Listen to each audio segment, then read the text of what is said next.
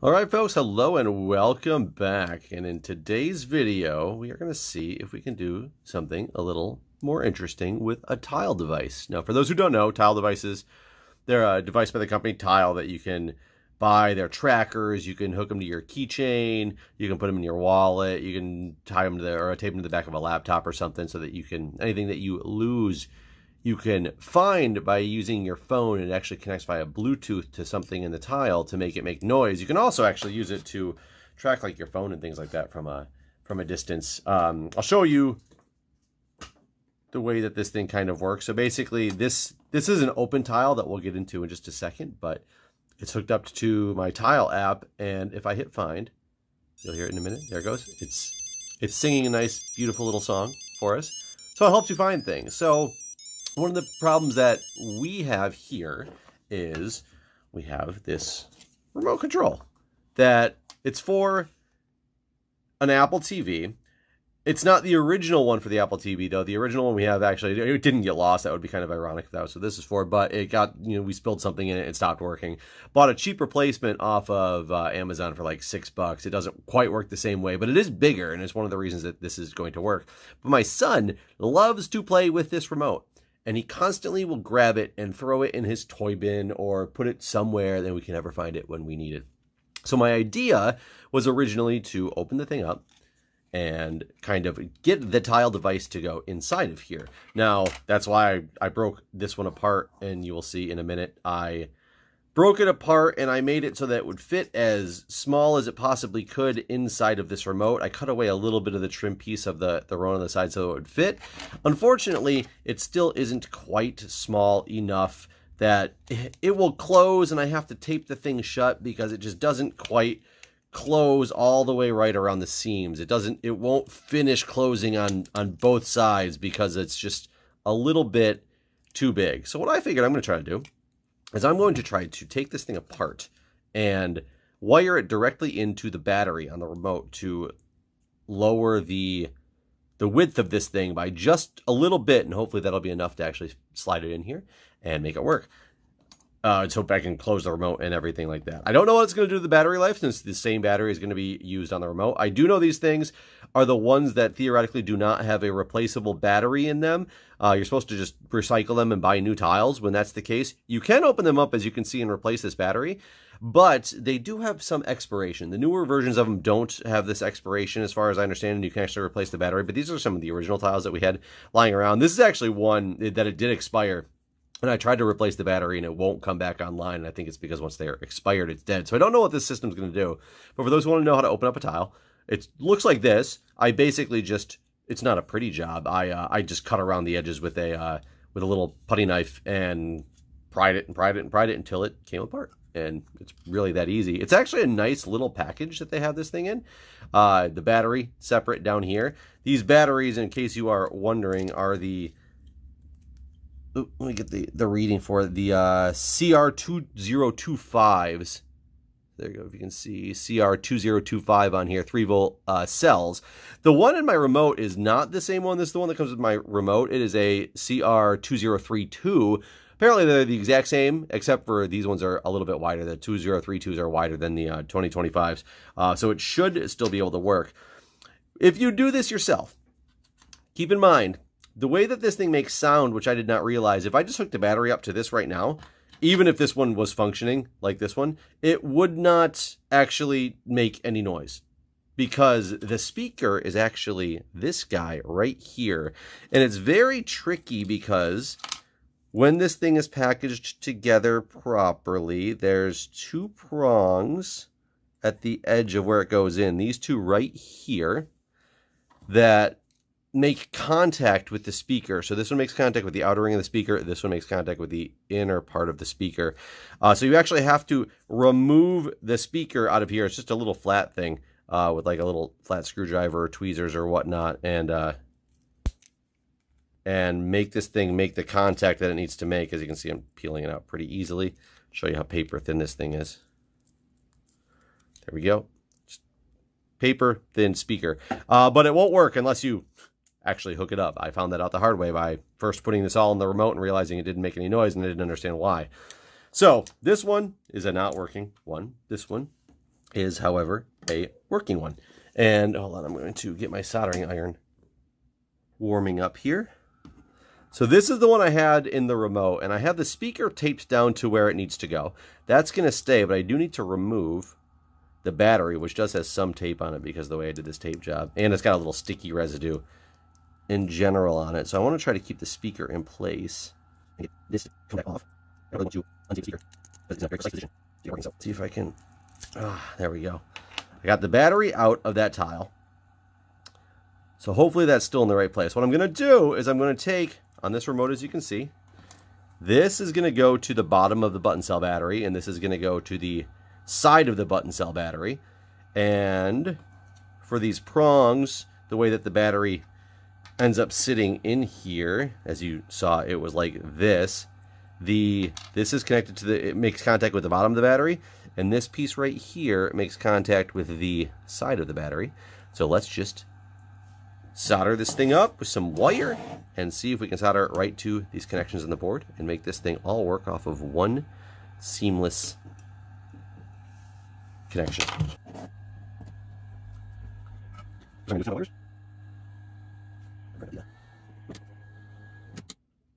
I lower my voice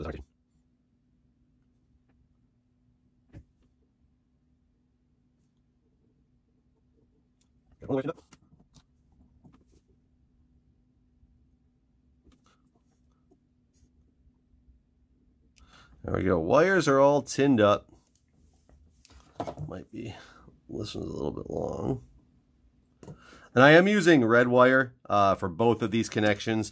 Uh, I would not highly suggest that. I would suggest you try to use a black wire and a red wire or two different colored wires if you if you possibly can. But it's what I got, so it's what we're doing. Let's see if we can get this thing to connect right to here.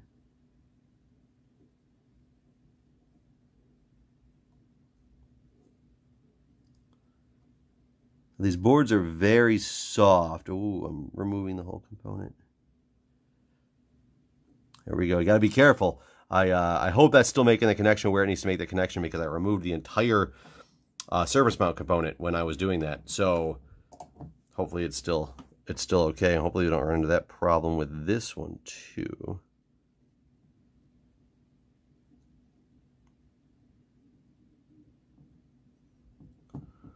Okay, that seems that seems like it's connected. Let's quickly take a look at okay.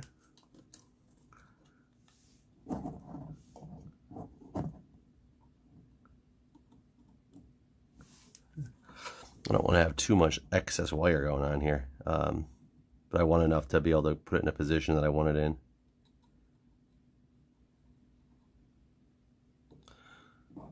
Okay. I'm sorry.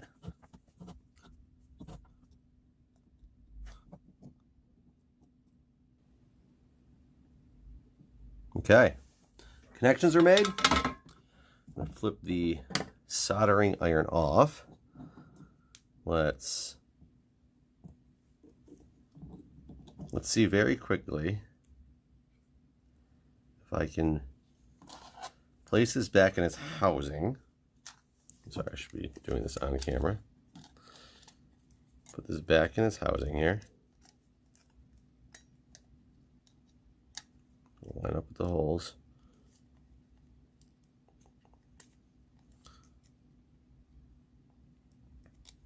Uh, in theory, it won't matter which direction it is now. I think I got a little, I've got some excess wire, it appears. I definitely didn't need to have as much as I do. Oh, connection came loose.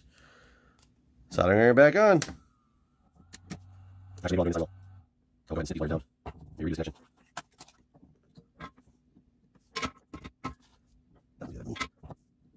right here. So I'm doing this right here. This wire. Should have done this in the first place. Actually, measured where I want this thing to sit, and then gone through and go ahead and uh, and cut. That would have been a much smarter way to do it.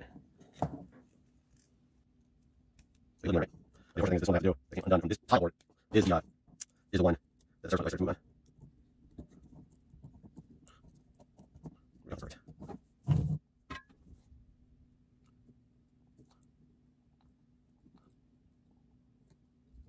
I need to this back in place. A lot of solder on there. Let's see if I can to the position here.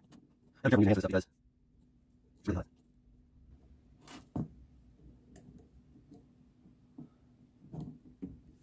There we go. And that should go seamlessly around that screw hole. We will find out.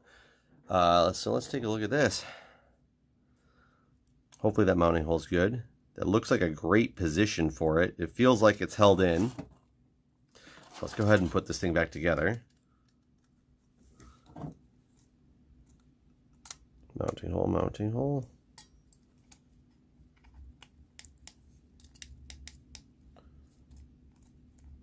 Oh, there is a that's a button. Hopefully that doesn't do anything. Okay, so that's in fine. Let's, for the sake of it, put the back cover back on.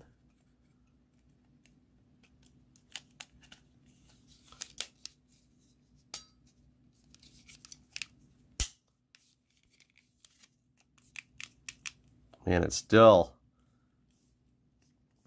still is a little bit big. I think it's actually because what I really want is I want it to be, ah, came off again.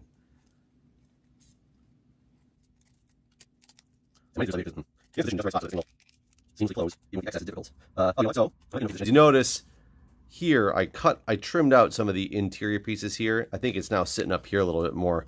Um, so I'm just going to take away some of the some of the excess support. And yes, I know I have to solder it back on. I just want to see if this is going to make it fit better in the in the spot it is in.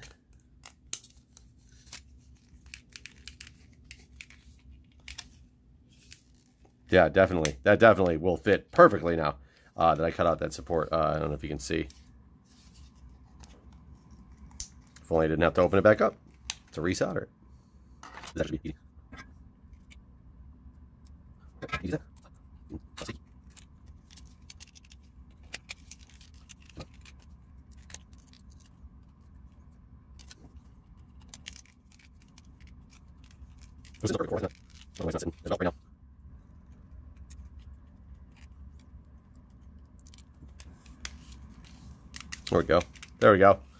Okay, so that is sitting in here nicely. Uh, there are some screws to go back on there, but what do we have to do is I have to hook up this the battery back in. Before testing the remote, I got the battery in here. Now let's try to, you know, find, uh-oh. Oh, there we go. There we go. Because it went to notify me when it's found. Now I found it again. There we go. So, this is now connected to the battery of the remote. Let me put some screws back in the back of this battery. Uh, and no longer using its own battery, so therefore it is a lot more a lot lower of a profile in here. Now the other thing we have to do is I have to go down and actually see it work.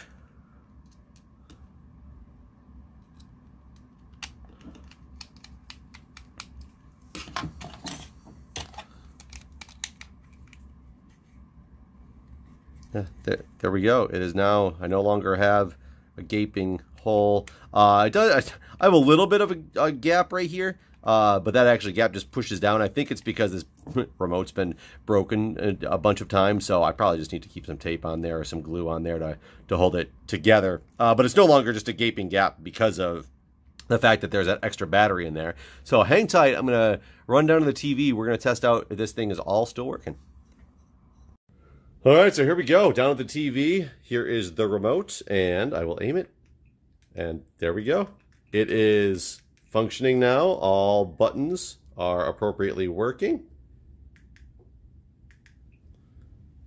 Fantastic. And let's make sure that that it still works here with the find. Using Trying to use multiple hands here and